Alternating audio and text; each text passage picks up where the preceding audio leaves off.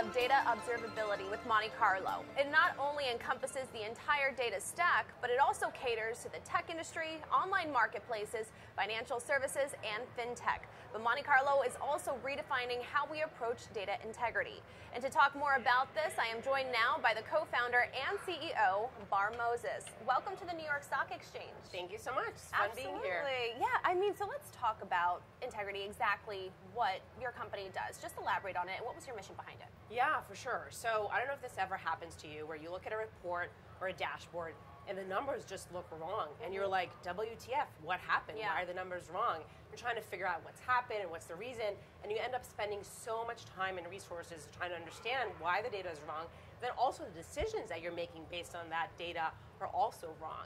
And so at Monte Carlo, our mission is to help um, accelerate the adoption of data by reducing what we call data downtime, which is periods of time when data is wrong or inaccurate. Mm-hmm. And the rationale for all of this is that there are data engineering teams, data analytics teams, product data teams that are all building data products. Mm-hmm. And they're building dashboards, reports, machine learning models, all of those feed off of data.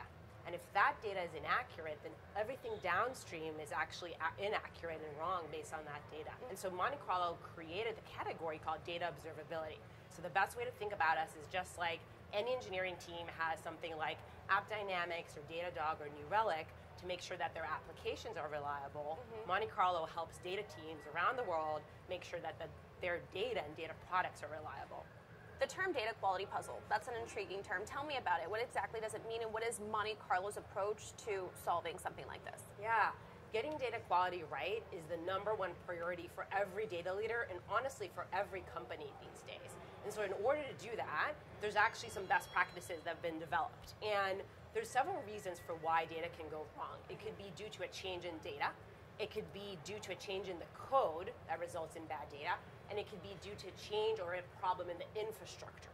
And so, strong data observability solutions actually combines all three of those together mm-hmm. data, code, and infrastructure in order to provide a really, really strong solution mm-hmm. that's machine learning based, automated, end to end, meaning across your data stack, your tech stack, mm-hmm. and that works with different types of users.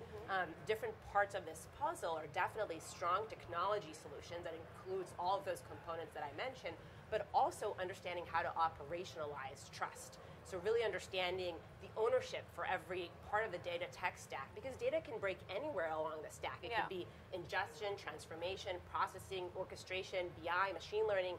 So figuring out what broke where mm-hmm. and then how do we also assign the ownership for who's triaging what and Yeah. in what way.